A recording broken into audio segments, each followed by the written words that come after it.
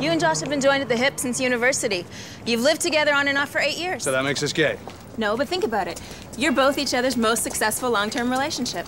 And that doesn't bother you in the slightest. Oh, okay, okay. Obviously, Josh is my best friend, and I take a punch I for think him any you're jealous.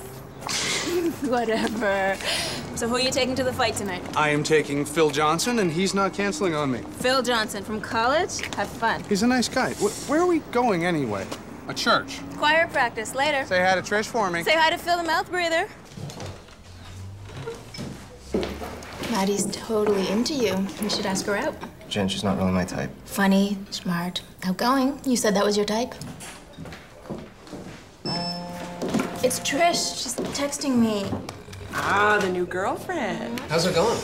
Um, let's just say our hallelujahs are right in sync. What's the problem? Her bush too big. What? Her bush is too big. Her cushion's too big? Her bush is too big. Oh. Oh. How big? Like 70s porno style? Got a weed whacker? So, you have a different aesthetic. Why don't you ask her to wax? A guy I dated once asked me, and I didn't mind. She doesn't even shave her leg. She's very PC about these things. Then make a PC argument. Like what? Only fascists are hairy? Or maybe, if she shaves, she'll transcend the aesthetic dominance of the phallus. It's Audrey's book. Yeah, still bullshit? Give me more. Okay, here, write this down. Climbed out the window. So you're like a living cliche. Yeah, I'm glad I have my friends to console me. That happened to me once. Actually, yeah, more than once. Are you sure Boranovsky saw you? I don't know. It was dark. It... Look, tonight is the farewell soiree for him. I should tell him. Good plan. What are you, insane? All right, this is my stop. I'll talk to you guys later. Sure, it's gonna be fine. Thanks. He's dead. Definitely. Speaking of dead, how's the wine bar? Cute. But you're right, the vital signs aren't good. Oh, does that mean you're actually going to start listening to my ideas? As long as it doesn't involve two words. Yeah. Wet t-shirts. Dear Jen, the weather's cold. You were right to pack a sweater.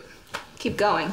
Uh, so, love is like that. I miss you like crazy. Love, love, love, Trish. She's a fucking love jamboree. You know what this means, don't you? Ah. She's gonna notice that I'm not saying it back. Then we're gonna have this big conversation about how I'm incapable of commitment. And then blah, blah, blah, it'll be over. Problem solved. I was just feeling so uncomfortable with the beef between Zeke Fabulous and Bird. I mean, there is already too much violence in the Chicago hair care scene. And I don't want to be a part of it anymore. I mean, weren't we supposed to learn from Tupac and Biggie? Huh. I think you just came up with a way we can both help each other. Oh. Oh, so you weren't trying to moonlight while things are slow here. Tu me parles comme un débile. The bitch got hit by three zebras and a monkey. I can't stand the bitch nowhere. When I walk up in the piece, I ain't gotta eat speed. I'm a bad bitch,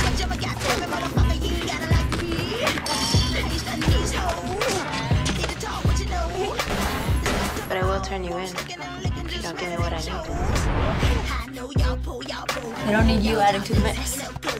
Step to me, get burnt like toast. Motherfuckers, adios amigos. Half, half, pose, pose. As long as it doesn't involve two words. Yeah. Wet A to the L, t-shirts. goes.